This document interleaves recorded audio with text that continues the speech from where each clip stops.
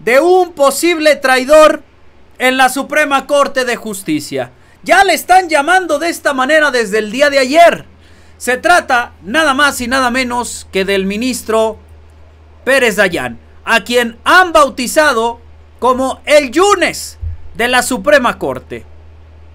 Y es que los comentócratas, la oposición y hasta los eh, manifestantes del Poder Judicial le han llamado traidor a Pérez Dayán, todo porque ha sostenido durante este debate palabras que ya había dicho anteriormente en cuanto a la revisión de la Constitución, reformas en de, reformas constitucionales como es el caso de la reforma judicial. Y mire, uno de los comentócratas, Leo Zuckerman, escribe, la 4T, la 4T tiene que conseguir el voto en contra de un ministro, de tal suerte que no haya la mayoría requerida de 8. Necesitan un voto y en política esto se consigue con incentivos positivos o negativos. Hoy comienza el debate de la Suprema Corte de Justicia del proyecto del ministro González Alcántara.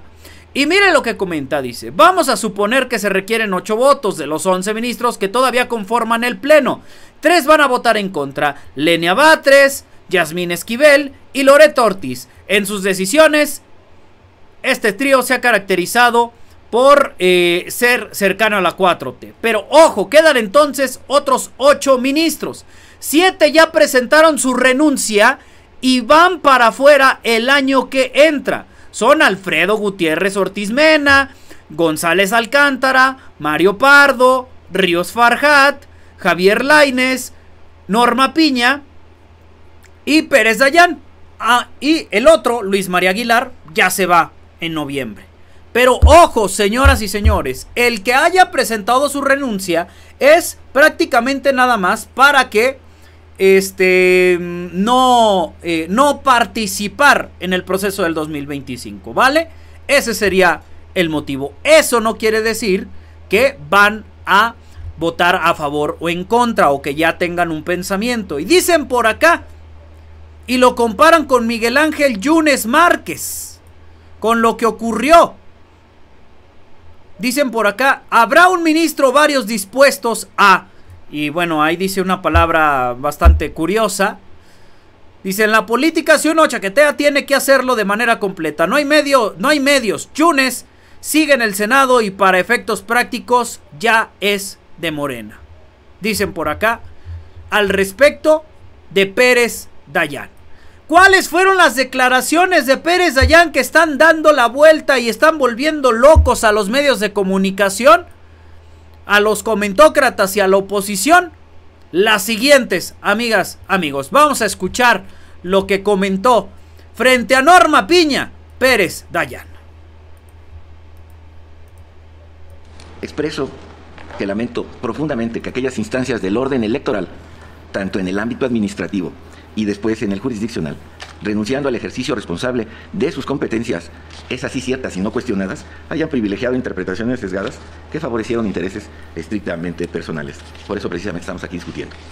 Concluyo, aceptando con el proyecto que los actores tienen legitimación para promover una acción de inconstitucionalidad, porque así se las permite precisamente la Constitución, la que, la aquí analizada es, en mi concepto, total y absolutamente improcedente y ello conduce a sobreseer en ella conforme a los precedentes a los que me he referido por más que me trate de convencer a mí mismo de lo contrario, resolver en el sentido que propone la propuesta sería, lo digo con todo respeto y exclusivamente en el fuero de mi propia persona, responder a una insensatez llevada irresponsablemente al texto supremo con otra insensatez equivalente, al forzar el ejercicio de una facultad que no me fue conferida en el conocimiento de una acción de inconstitucionalidad.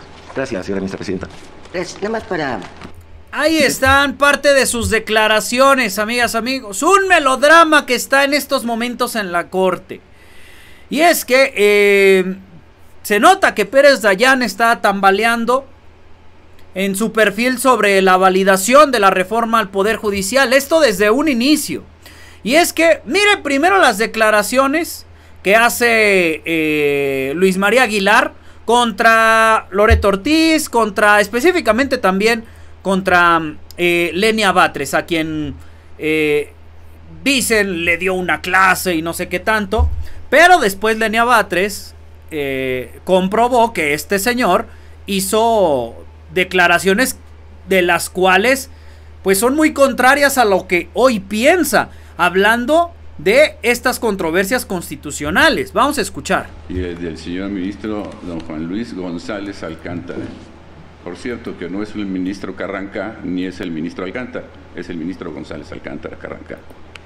Yo voy a hablar con toda mesura, porque no creo que estemos en un mitin político para estar alzando la voz, tratando de que las ideas se sobrepongan a las razones por el simple hecho de tener la voz más alta. Yo creo que, como se han afirmado una serie de circunstancias que creo que están faltando a la técnica del estudio, habíamos dicho, y la señora ministra presidenta lo enfatizó hace un rato, que aquí no estamos tratando todavía la improcedencia, estamos viendo lo de la legitimación, pero ya se han pronunciado con multitud de argumentos que no tienen ni siquiera que ver con la litis que estamos aquí, por ejemplo, que se han invalidado una gran cantidad de leyes, pues si se han invalidado una gran cantidad de leyes ha de ser porque están mal hechas. Ahí está lo comentado por eh, Luis María Aguilar, ¿no? Diciendo esto no es un mitin político, pues los que se han portado como políticos han sido prácticamente ellos. Han sido ellos al llevar este caso innecesario, innecesario a estas alturas en donde están teniendo una afrenta política contra el poder ejecutivo, creyéndose más que el legislativo y agarrando sus atribuciones. Ellos lo hicieron político, señoras, señores. Escuche nada más lo que vuelve a decir Pérez Dayán palabras más, palabras menos, dice, no puedo decir qué debió llevar o no la constitución. Prácticamente, con eso les dice todo, amigas, amigos. Vamos a escucharlo. Por estas declaraciones le están diciendo traidor a Pérez Dayán. Tan lo imaginó el propio Poder Revisor, que en su momento y en la forma de integración de las cámaras, estableció un límite infranqueable de 300 legisladores en una de ellas para que cualquier modificación a la Constitución tuviera que ser motivo de un acuerdo entre la mayoría y las minorías, si por descuido, si por equivocada interpretación o por la razón que haya sido esto, no se respetó. Y hoy tenemos los números que integran cada Cámara y se producen cambios como los que hoy estamos analizando, ya no es una cuestión que atañe a la Suprema Corte. Quienes en su momento decidieron repartir los escaños de cada Cámara tendrían perfectamente claro que esas mayorías podrían llegar a decisiones como esta, a la cual yo me referí como una reforma irresponsable, pero tan irresponsable la creo como atribuido a mí mismo, tampoco podría decir que tengo las facultades para decir qué es lo que debió llevar o no llevar la Constitución. Lo digo a propósito de los límites a los que se refirió el señor ministro Lainez, con los cuales también me preocupo. ¿Cuáles son los límites? Los límites tendrían que ser los que el propio texto supremo le puso a las representaciones legislativas sin exceder 300 para que cualquier cambio constitucional tuviera que ser consensado con quienes pensaran igual que ellos y alcanzar las dos terceras partes. Eso no sucedió es precisamente a lo que hoy nos enfrentamos y de esta materia podemos esperar cualquier tipo de reforma que ustedes imaginen. Gracias, señora ministra. Pues fíjese, hasta no fue el único que le dijo este tipo de cosas a, a Laines, amigas, amigos. Explicando incluso el origen de los 300 legisladores en las cámaras. De cómo la constitución a lo largo de la historia ha tenido que tener ciertas modificaciones para poder defenderse a sí misma. Y aunque calificó la reforma judicial de irresponsable, añadió que la Corte no puede intervenir en la naturaleza de las decisiones legislativas. A quienes se les repartieron los escaños, sabían que las, que las mayorías iban a hacer cambios lo imaginó. O sea, literalmente está aceptando que la Suprema Corte de Justicia no puede hacer, no puede hacer nada. No puede mover un dedo. Pero bueno, amiga, amigo, traidor, héroe, patriota, estaba haciendo nada más su trabajo, no hay nada que agradecerle, hay que agradecerle. ¿Qué opina usted al respecto del ministro Pérez Dayán? Lo voy leyendo allá abajito en los comentarios.